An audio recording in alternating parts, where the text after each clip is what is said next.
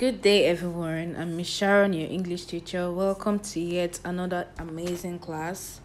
Today, our learning targets are I can identify different vowel spellings in words, I can read contraction words, I can ask and answer questions about key details in the story Meet Vern.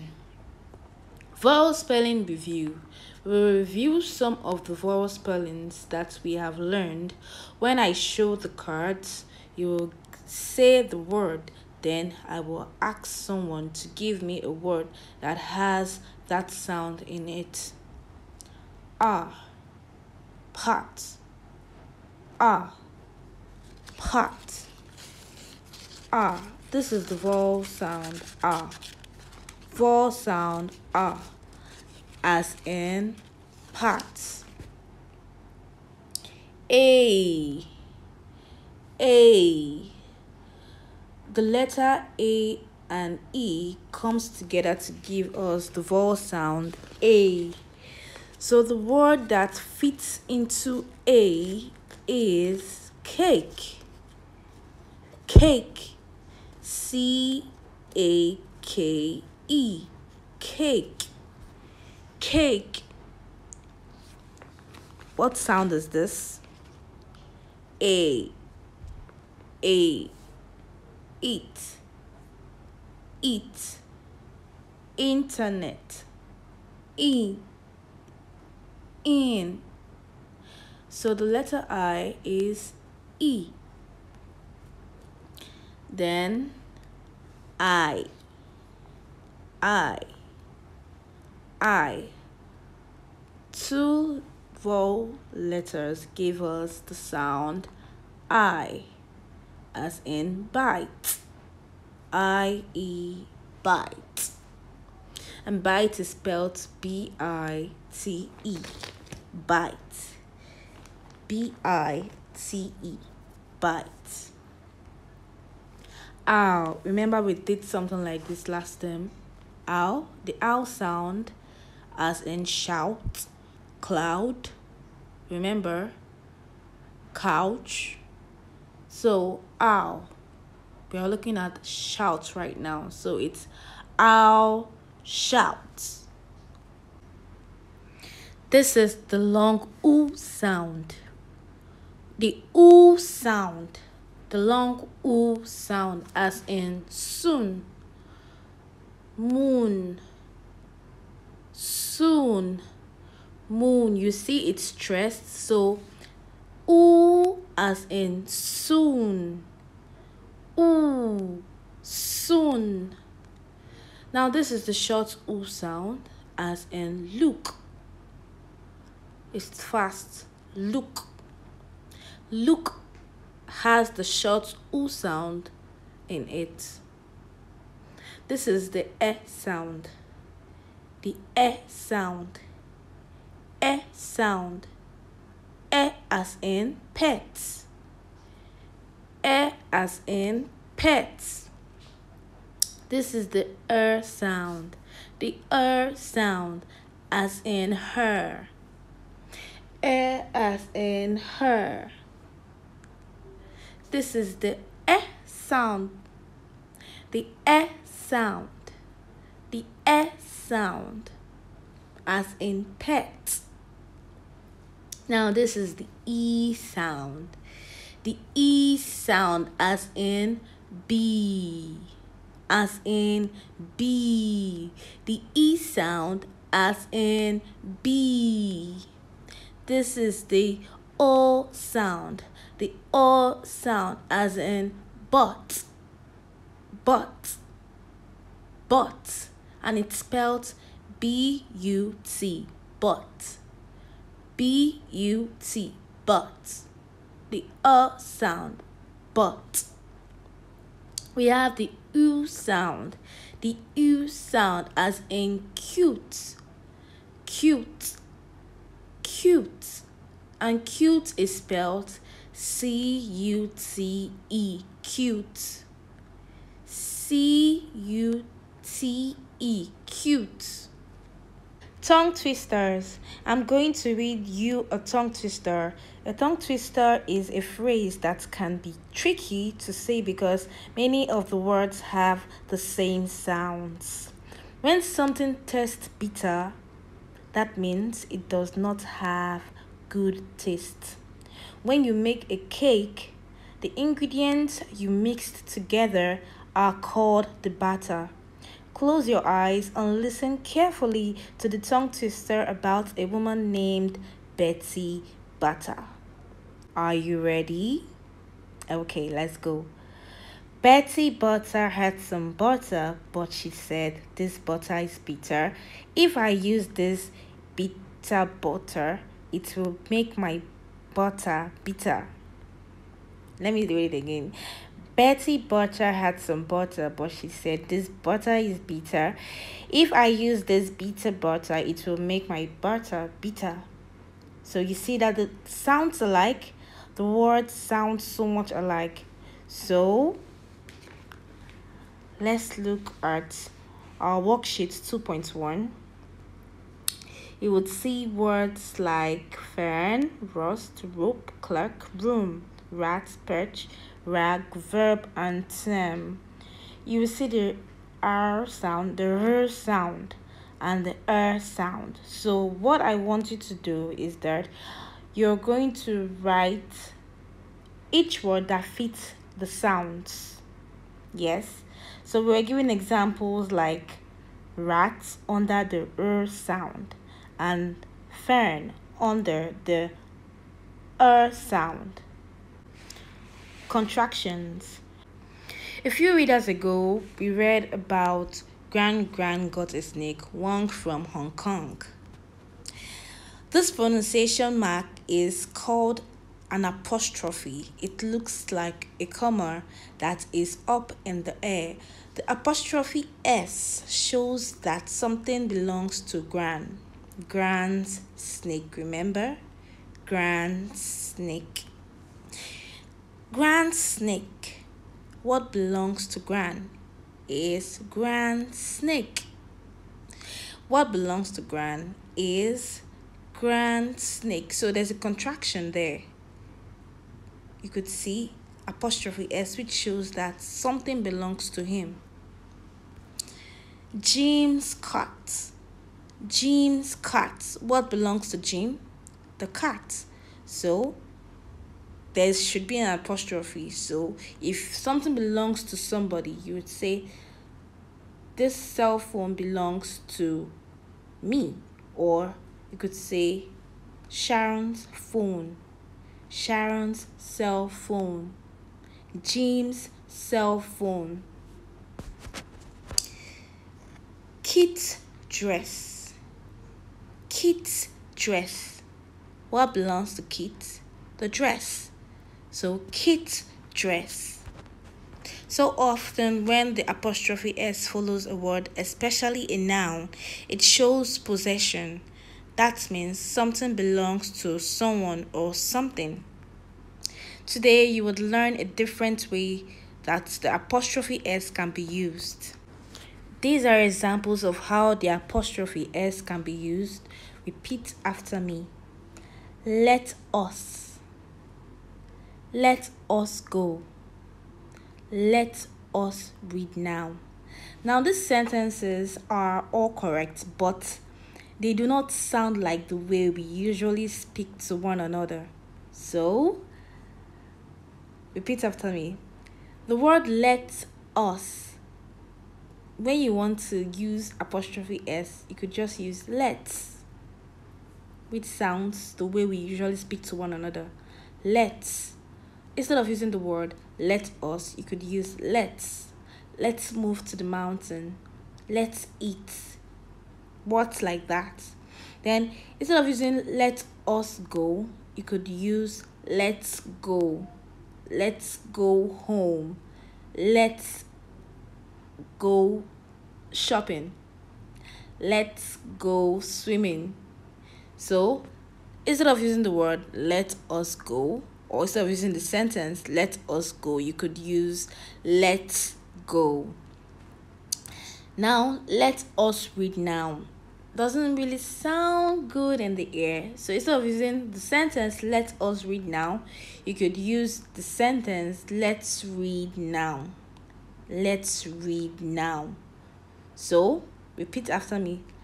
Let us, let's, let us, let's, let us go, let's go, let us go. Let's go. Let us let us read now. Let us read now. Let's read now.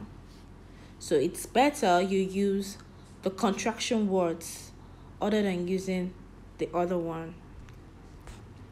Now repeat after me let us let's when an apostrophe is used to replace a letter the new word that is formed it's called a contraction. Like i said before the new word is that it's formed it's called a contraction.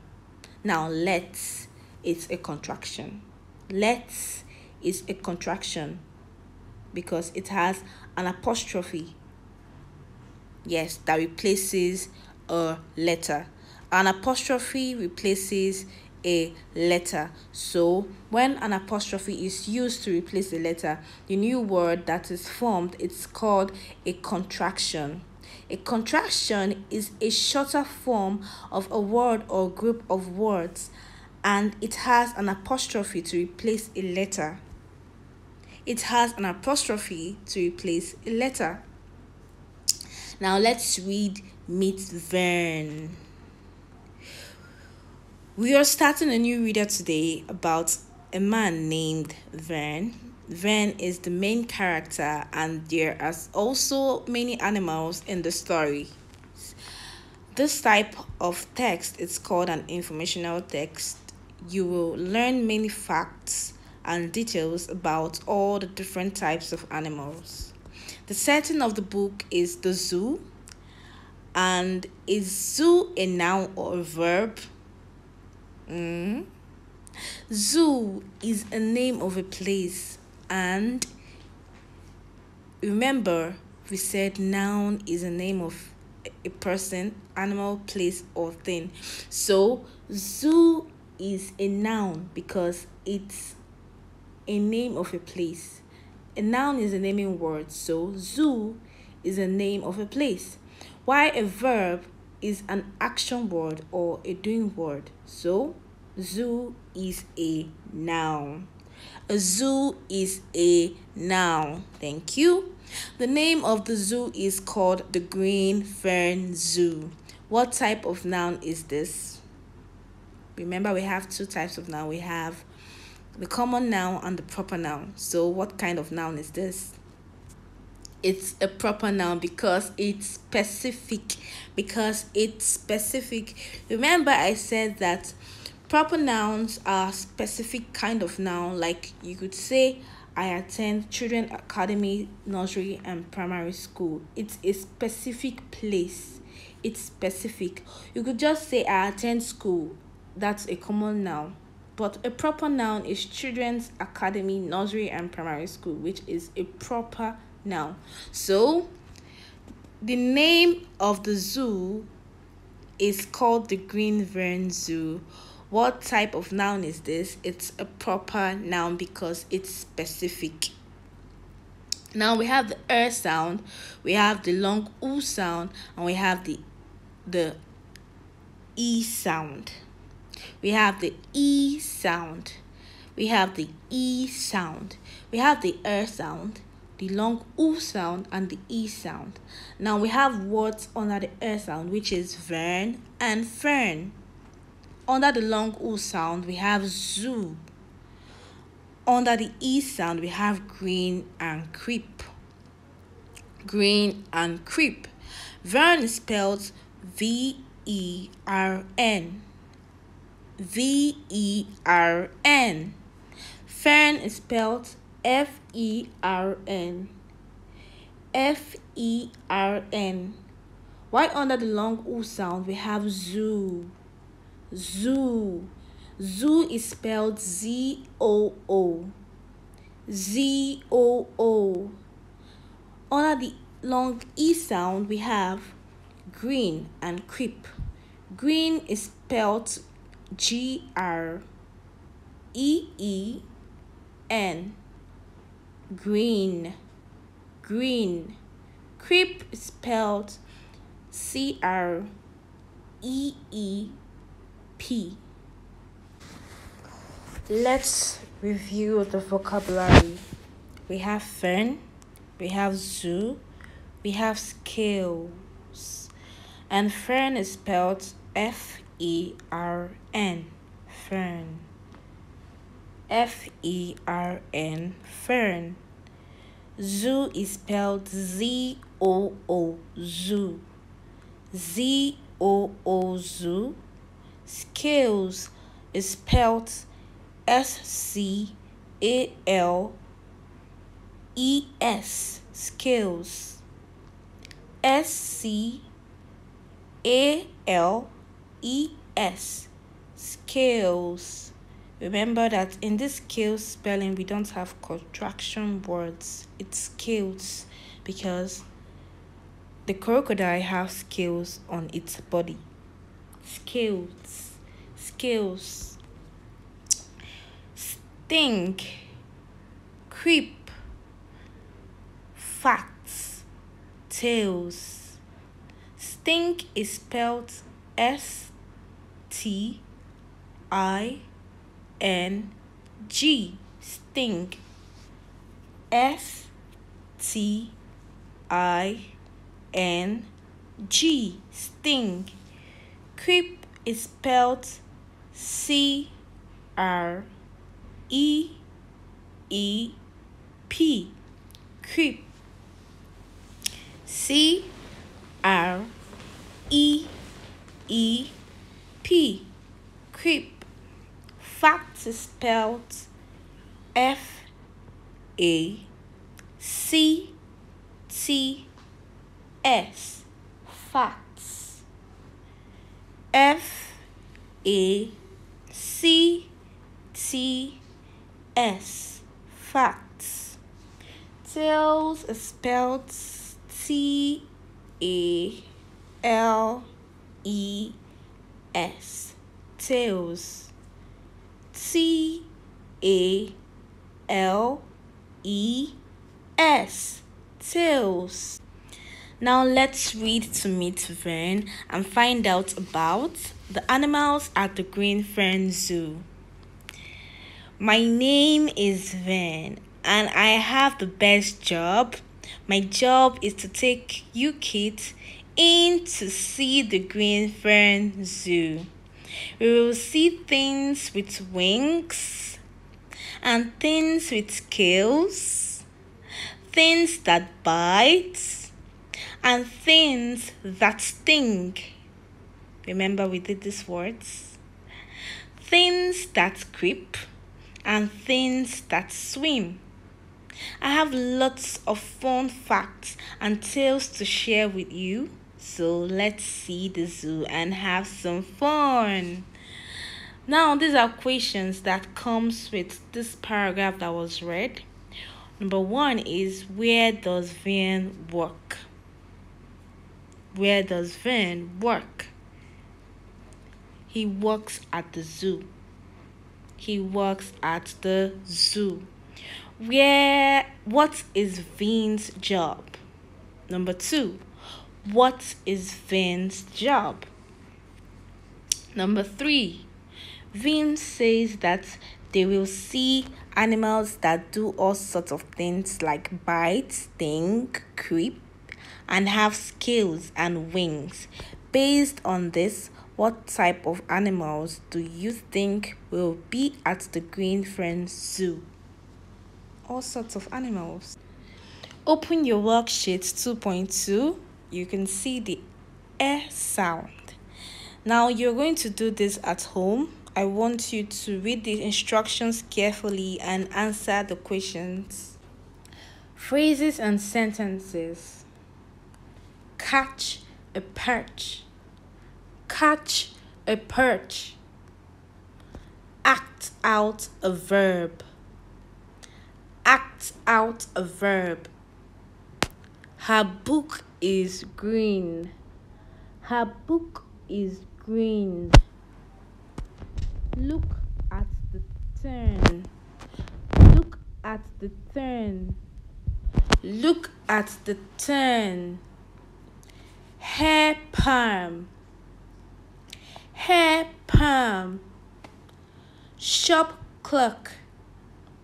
Shop clerk. Check the route. Check the route. Head of cows. Head of cows.